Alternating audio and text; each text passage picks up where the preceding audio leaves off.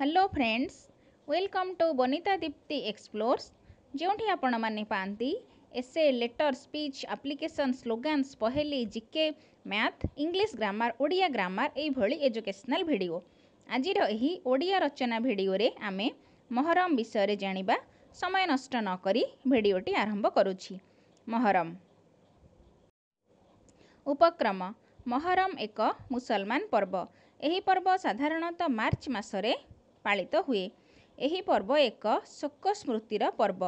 ମୁସଲମାନମାନେ ଏହି ପର୍ବ ପାଳନ କଲାବେଳେ ସେହି ଶୋକମୟ ସ୍ମୃତିକୁ ଜାଗ୍ରତ କରି ଶୋକାର୍ତ୍ତ ହୋଇପଡ଼ନ୍ତି। ମହରମର ଉଦ୍ଭବ। ଇସଲାମ ଧର୍ମର ପ୍ରତିଷ୍ଠାତା ହଜରତ ମହମ୍ମଦଙ୍କର ହାସାନ ଓ ହୁସେନ ନାମରେ ଦୁଇ ଜଣ ନାତି ଥିଲେ। ମହମ୍ମଦଙ୍କ ମୃତ୍ୟୁ ପରେ ହୁସେନ ଓ ହାସନ ହଜରତ ମହମ୍ମଦଙ୍କ ଉତ୍ତରାଧିକାରୀ ରୂପେ ମୁସଲମାନ ଜଗତର ଖଲିଫା ବା ଧର୍ମଗୁରୁ ହେଲେ କିନ୍ତୁ ଡାମାସ୍କସର ଶାସକ ଅଜିଜ ହଜରତ ମହମ୍ମଦଙ୍କର ଏହି ଦୁଇ ନାତି ହାସାନ ଓ ହୁସେନଙ୍କର ଏହି ଅଧିକାରକୁ ସ୍ୱୀକାର କଲେ ନାହିଁ ଅଜିଜ ଚକ୍ରାନ୍ତ କରି ହାସାନଙ୍କର ପ୍ରାଣନାଶ କଲେ ହୁସେନ ଥିଲେ ବଡ଼ ଧର୍ମପରାୟଣ ସେ ଥିଲେ ଅତି ଉତ୍ତମ ବ୍ୟକ୍ତି ତେଣୁ ସମସ୍ତେ ତାଙ୍କୁ ଶ୍ରଦ୍ଧା କରୁଥିଲେ।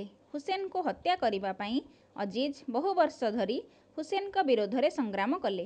ଅବଶେଷରେ ପରାଜିତ ହୋଇ ହୁସେନ ପଳାୟନ କଲେ।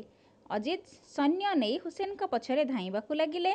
ଅଜିଜଙ୍କ ଦ୍ୱାରା ହୁସେନ ବନ୍ଦୀ ହେଲେ। ଏହାର ଦଶ ଦିନ ପରେ ଅଜିଜ ହୁସେନଙ୍କୁ ହତ୍ୟା କଲେ। ସେତେବେଳେ ମୁସଲମାନମାନଙ୍କ ପାଇଁ ଏହା ଥିଲା ମର୍ମାନ୍ତକ ବେଦନାର କାରଣ। କାରଣ ସେମାନେ ହୃଦୟ ବିକଳରେ କାନ୍ଦିବାକୁ ଲାଗିଲେ। ସେହି ଶୋକର ସ୍ମୃତି ସ୍ୱରୂପ ମୁସଲମାନମାନେ ପ୍ରତ୍ୟେକ ବର୍ଷ ମହରମ ପର୍ବ ପାଳନ କରିଆସୁଛନ୍ତି। ପାଳନ ବିଧି। ମହରମ ପର୍ବ ଦଶ ଦିନ ଧରି ପାଳିତ ହୁଏ। ଏହି ସମୟରେ ମୁସଲମାନମାନେ ଉପବାସ କରନ୍ତି ଓ ସେହି ଶୋକ ସ୍ମୃତିକୁ ମନ ମଧ୍ୟରେ ଜାଗୃତି କରି ଶୋକାର୍ତ୍ତ ହୋଇପଡ଼ନ୍ତି। ଏହି ଦଶ ଦିନ ସେମାନେ ହୁସେନଙ୍କୁ ମନେ ପକାଇବା ସଙ୍ଗେ ସଙ୍ଗେ ଆଲ୍ଲାଙ୍କ ଉଦ୍ଦେଶ୍ୟରେ ପ୍ରାର୍ଥନା କରନ୍ତି। ମହରମ ପର୍ବ ବଡ଼ ପବିତ୍ର ମନୋଭାବରେ ପାଳିତ ହୁଏ। ହୁସେନଙ୍କ କବର ଉପରେ ଗୋଟିଏ ସ୍ମୃତିସୌଧ ନିର୍ମିତ ହୋଇଛି। ସେହି ସୌଧର ପ୍ରତୀକ ସ୍ୱରୂପ ସେମାନେ ତାଜିଆ ନିର୍ମାଣ କରନ୍ତି ଓ ସମବେତ ଭାବରେ ତାଜିଆ ନେଇ ସାହି ସାହି ବୁଲନ୍ତି। ମହରମ ପର୍ବ ଦଶ ଦିନରେ ଶେଷ ହୁଏ। କଟକର ମୁସଲମାନ ସମ୍ପ୍ରଦାୟ କହନ୍ତି ଯେ ତାଜିଆ ଓ ବାଡ଼ି ଖେଳ ଆଦି ପ୍ରକୃତରେ ମହରମ ପାଳନର ବିଧି ମଧ୍ୟରେ ନାହିଁ।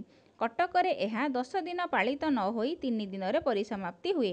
ଶେଷ କଥା ମହରମ ଏକ ପର୍ବ ହୋଇଥିଲେ ମଧ୍ୟ ଏଥିରେ ଆନନ୍ଦ ଉତ୍ସବ ପାଇଁ କ୍ଷେତ୍ର ନାହିଁ। ଧର୍ମଗୁରୁ ହୁସେନଙ୍କ ହତ୍ୟା ପାଇଁ ମୁସଲିମ ଲୋକମାନଙ୍କ ହୃଦୟ କାନ୍ଦି ଉଠେ ଓ ଆଖିରୁ ଅଶ୍ରୁଧାରା ବହିଯାଏ।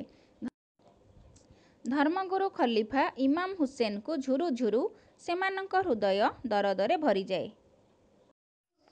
ଆଶା କରୁଛି ଭିଡ଼ିଓଟି ଆପଣମାନଙ୍କୁ ଭଲ ଲାଗିଥିବ ଭଲ ଲାଗିଲେ ଲାଇକ୍ କମେଣ୍ଟ ସେୟାର କରନ୍ତୁ ଓ ଚ୍ୟାନେଲକୁ ନିଶ୍ଚୟ ସବସ୍କ୍ରାଇବ୍ କରନ୍ତୁ ଥ୍ୟାଙ୍କ